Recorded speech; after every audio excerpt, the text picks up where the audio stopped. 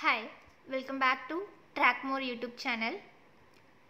In this video, we are going to see theory of elasticity and plasticity. First unit, we are going to see elasticity.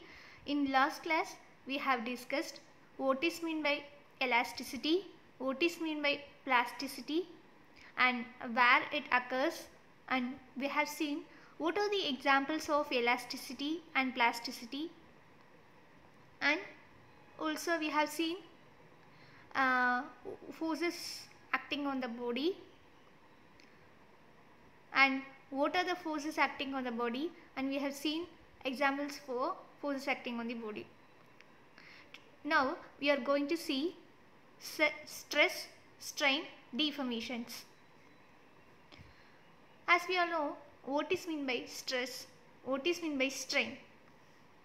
When stress occurs and when strain occurs.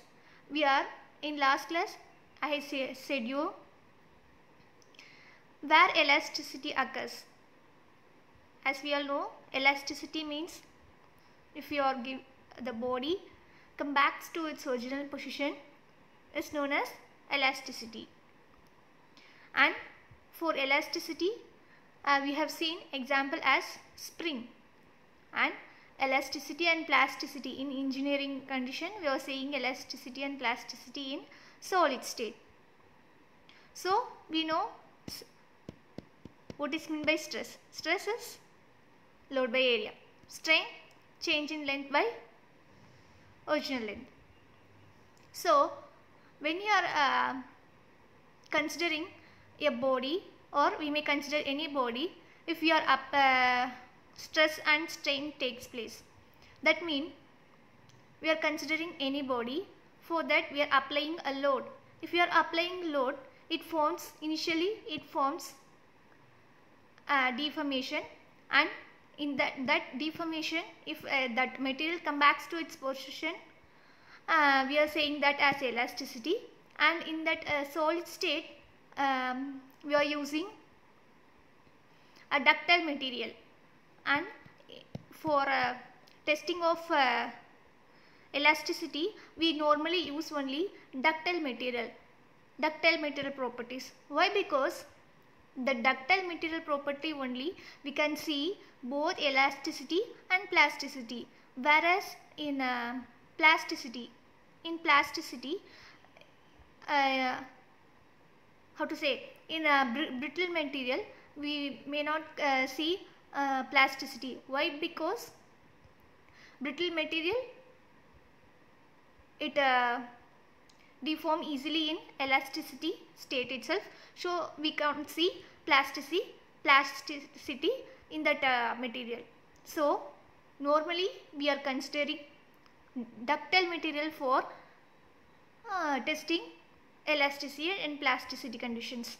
Now they are considered in this they are considered Consider a continuous, cohesive and irregular body subject to set a external force. For external force they are considering a irregular body and they are applying a load that is forces.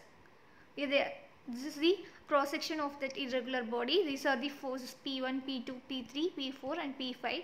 Here the cross section they are applying del A is known as cross section, del R, then del R and then del or t. This is normal force. This is tangential force. Then equilibrium at any region del A of the cross section a net resistance force del R which has a normal component del Rn. Resistance force they notated as del or capital letter or normal component they said as del Rn and a tangential component they set as del or T acts del or that is cross section of that uh, body gives the stress component at a point. At a specific point that cross section gives a stress component. So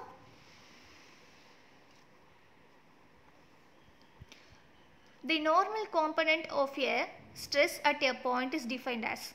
The normal component of a stress at a point is defined as sigma is equal to limit del A tends to 0 del or n divided by del A that is cross section tends to 0 that is resultant force divided by cross section. The shear component is defined as this is normal component. Shear component tau is equal to limit del A tends to 0 del or T or T is tangential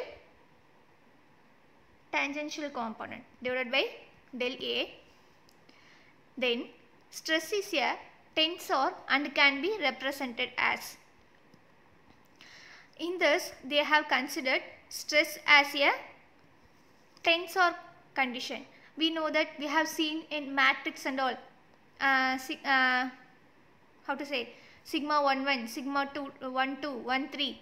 In uh, mathematics we have seen row, this is a row, this is column, this is 3 by 3 matrix. Here they are saying stress is a tensor. In tensor form they are saying as a stress component. Now this we are considering only normal stresses and tangential stresses. Here what is normal stress and what is tangential stress? Sigma x, sigma y and sigma z are normal stresses. Tangential stresses are tau xy, tau xz, tau yx, tau yz, tau zx, tau zy. These are the these are the tangential stresses. Sigma x, sigma y, sigma z are the normal stresses. Okay. This is three dimensional condition. So, x, y, z. So, three dimension they have considered sigma x, sigma y, sigma z. Then tangential cells sigma y, sigma x, tau xy, tau xz. Then sigma y remaining tau ayx, tau yz they have written. Then sigma z remaining tangential component is tau zx, tau zy. Clear? Next, where sigma x, sigma y and sigma z are normal stresses and tau xy, tau yx, tau, comma, tau yz, tau zy, comma, tau zx and tau zy are tangential stresses. When force is as I said earlier, when force is applied to an elastic body, it changes its shape and volume. Okay. If we, uh, for example, in last class itself I said, if you are uh, for uh, for this we can consider example as um, tensile strengthening machine. That is universal testing machine. Uh, as we normally know, uh, in universal testing machine we are going to test a rod. We are going to test a rod. We are applying a load from upper point of the machine upper direction the force is that is the load is applied to the uh, rod. When we are applying the load what happens? Initially we are giving load. Inside that material what happens? Stress takes place. Due to stress what happens? We are giving load. Uh, in that load due to that load the object changes its shape. Why? Because stresses takes place inside that object inside that material stress take place. Due to stress the shape and volume of the object is changing. So due to the change of uh, volume and shape strain is forming. That is what is in by strain? Change in length. So if we apply a load to that rod uh, what happens when we apply a load to the uh, rod any steel rod uh, that is rebar inside that uh, uh, stress take place due to applying load force so due to that uh, stress that rod gets deformation due to that deformation the change of length takes place that is shape and volume of that material changes due to that change of shape length also so changes. So there strain taking place. As we all know, as we all know how strain occurs, how stress occurs in any material. Then the measure of this change can be represented as strain tensor. As I said no how strain takes place. that measure of this change change in that material strain takes place that strain tensor is noted as strain symbol strain x uh, xy xz yz zx zy z where x y z strain x y z or normal strains and strain xy yx yz zy zx or tangential strains I am saying you once again stress strain deformations stress strain deformation அப்படின்னா என்ன அப்படின்னா நம்ம ஒரு பாடியை consider பண்ணிக்கிறோம். இங்கே வந்து அவங்க இரகுலர் பாடியை கன்சிடர் பண்ணுறாங்க இரகுலர் பாடியை கன்சிடர் பண்ணும்போது அவங்க என்ன சொல்லியிருக்காங்க அப்படின்னா ஃபோர்ஸ் அப்ளை பண்ணுறாங்க ஃபோர்ஸ் அப்ளை பண்ணும்போது க்ராஸ் செக்ஷன் ஏரியா கன்சிடர் பண்ணியிருக்காங்க. They are considering this cross section area அதில் வந்து ரெசிஸ்டன்ட் ஃபோர்ஸ் கொடுக்குறாங்க. நார்மல் ஃபோர்ஸ் கொடுக்குறாங்க. அதே மாதிரி டேஞ்சென்ஷியல் காம்போனன்ட் அப்படியெல்லாம் கொடுக்கும்போது என்ன ஆகுது? இதெல்லாம் நோட்டேட் பண்ணியிருக்காங்க. Cross section resistance del R normal component del R N tangential component del R T then del A gives to stress component அதுக்கப்புறம் நார்மல் காம்போனன்ட்னா என்ன? நார்மல் காம்போனண்ட்டுக்கு எப்படி டிஃபைன் பண்ணுறாங்க sigma is equal to limit del A tends to 0 del Rn divided by del A. Shear component na shear tau is equal to uh, limit uh, del A tends to 0 del RT divided by del A.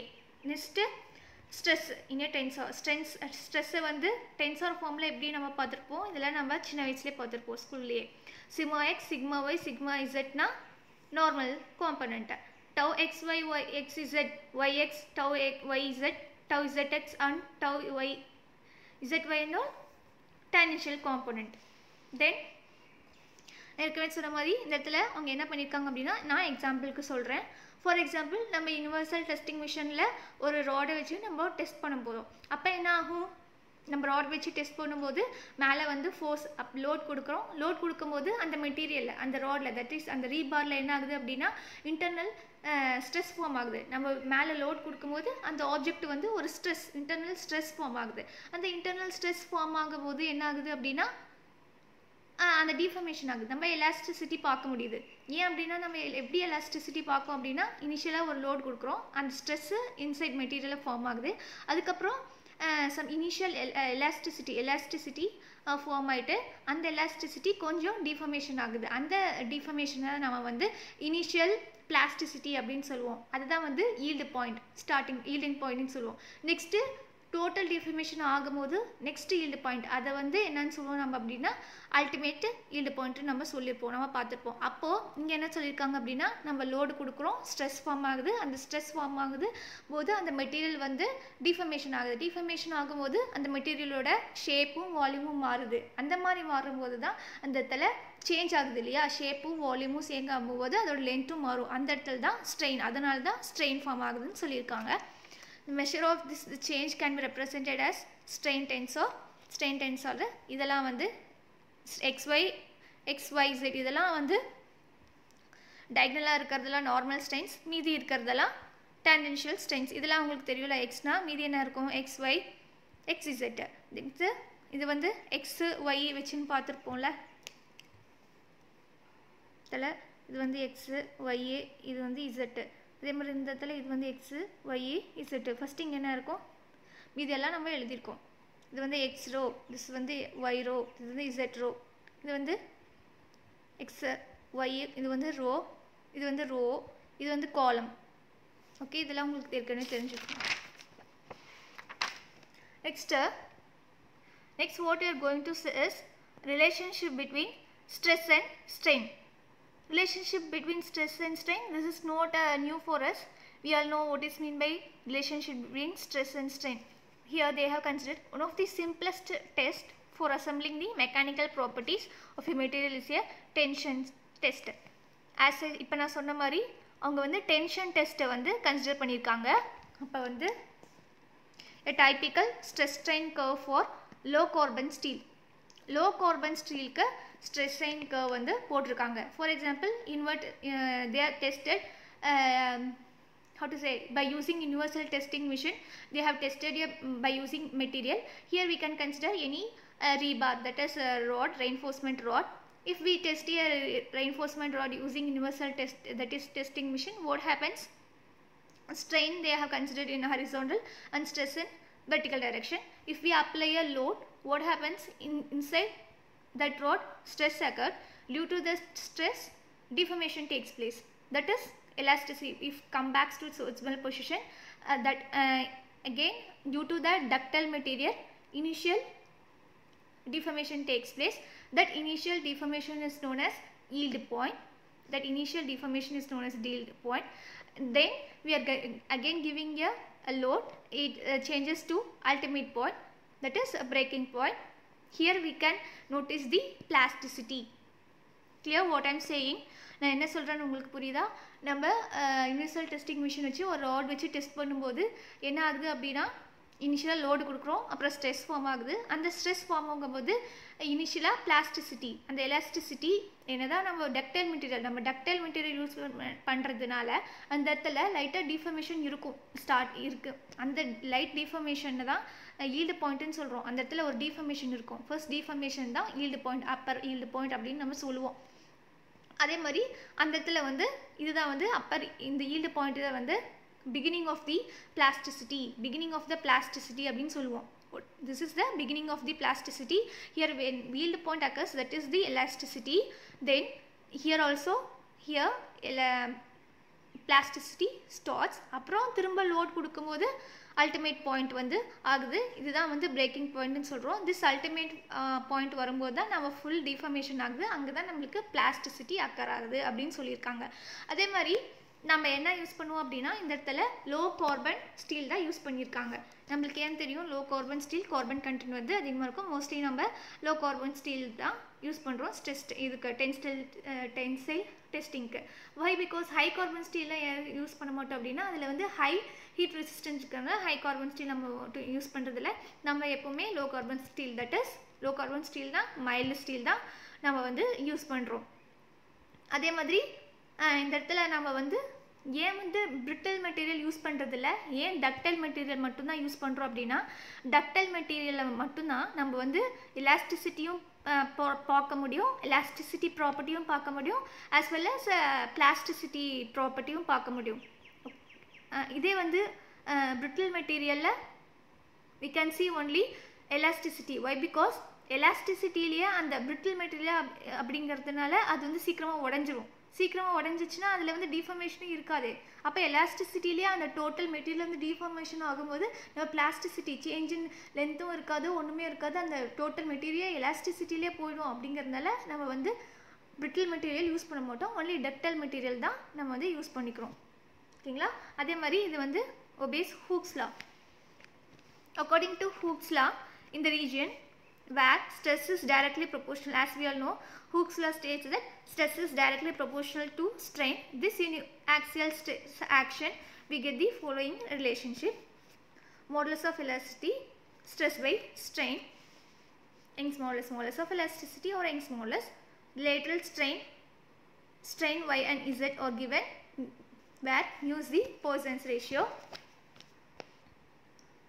Then modulus of rigidity symbol shear stress by shear strain bulk modulus normal stress by normal strain then g is equal to e that is Young's modulus divided by 2 into 1 plus mu mu is Poisson's ratio k is the k is equal to e divided by 3 1 minus 2 mu k is bulk modulus e அப்படிங்கிறது Young's modulus divided by 3 elasticity 1 minus 2 into mu mu அப்படிங்கிறது Poisson's ratio clear நான் என்ன சொன்ன உங்களுக்கு புரிஞ்சுதா? இன்றைக்கி நம்ம class என்ன பார்த்தோம்? ஸ்ட்ரெஸ் ஸ்ட்ரெயின் டிஃபர்மேஷன்ஸ் இது நோட் பண்ணிக்கோங்க. கொஷினில் ஸ்ட்ரெஸ் ஸ்ட்ரெயின் டிஃபர்மேஷன் கேட்டால் இதுதான் எழுதணும். In question if they asked stress strain deformation you want to write this is as exam point of view I have written notes for you. Please note it down. And if you have any doubts and uh, queries uh, comment in comment section. And I will clear your doubts.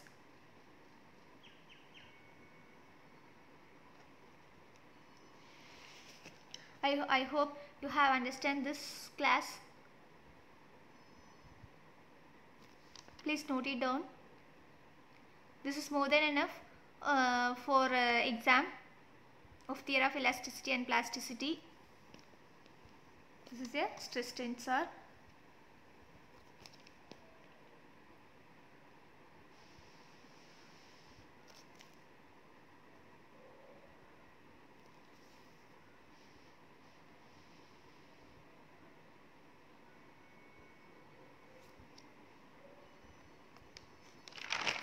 then relationship between stress and strain. This is the code book. IS 456 stress strain relationship will be available in IS 456 code book 2000. Here they are considered mechanical properties of the material in tension test. That is universal testing mission. It obeys Hooke's law and formulas.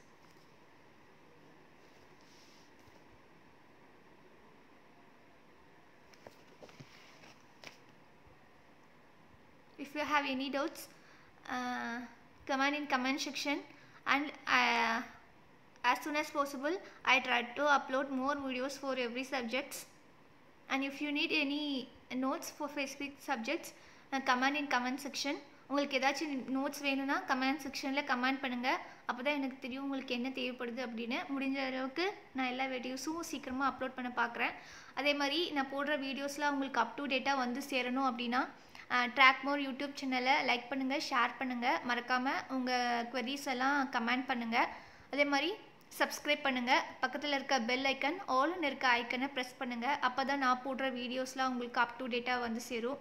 இந்த class நான் போடுற வீடியோஸ்லாம் உங்களுக்கு யூஸ்ஃபுல்லாக இருக்கும்னு நினைக்கிறேன். இவ்வளோ நாள் இந்த வீடியோஸை பார்த்ததுக்கு ரொம்ப தேங்க்ஸ் அதே மாதிரி யார் யார் சப்ஸ்கிரைப் பண்ணியிருக்கீங்களோ அவங்களுக்கும் ரொம்ப தேங்க்ஸ் மேற்கொண்டும் நம்ம வீடியோஸ்லாம் பார்க்கணும் அப்படின்னா சப்ஸ்கிரைப் பண்ணுங்கள் பக்கத்தில் இருக்க பெல் ஐக்கன் ஆல்னு இருக்க ஐக்கனை ப்ரெஸ் பண்ணுங்கள் அதே மாதிரி நம்ம ட்ராக் மாதிரி யூடியூப் சேனலுக்கு சப்போர்ட் பண்ணுங்கள் தேங்க்யூ ஃபார் வாட்சிங்